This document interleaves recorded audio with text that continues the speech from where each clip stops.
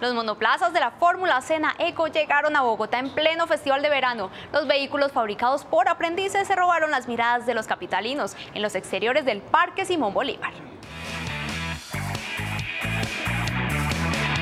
Con 10 monoplazas, aprendices e instructores de Fórmula Cena Eco trajeron por unas horas la adrenalina de las pistas a las calles de Bogotá.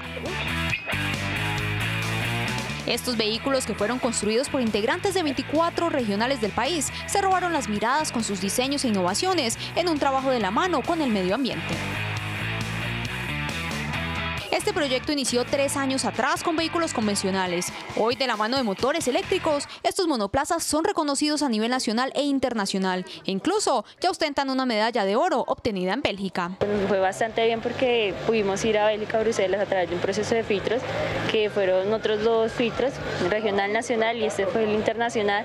A los europeos les gustó nuestro, nuestros proyectos y se sorprendió que hubiera no solo un carro, sino 10 carros de sistema. El país no conoce cómo estos muchachos se preparan y sobre todo que esto que están haciendo aquí es un gran aporte a la sostenibilidad del planeta. Un camino que recorren 1.500 estudiantes de todo el país que avanzan por nuevas metas.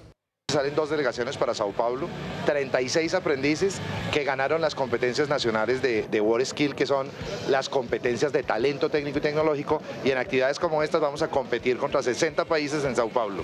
Días y noches de trabajo forman parte del trazado de estos aprendices que sueñan con sumar kilómetros y llegar algún día al podio de la máxima competencia del automovilismo en motores eléctricos, la Fórmula E.